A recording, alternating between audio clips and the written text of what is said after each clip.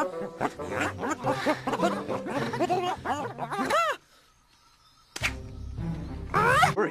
how charming. Say, let's you and I go on a little outing. Just the two of us. Hmm? Uh, I don't understand. I thought I was being crystal clear. You, me, jungle picnic. I'm afraid asking him to dance may reopen those old wounds. Oh, so now what am I left with? I can't have a party. I can't give a gift. I can't even dance with my own husband on our anniversary.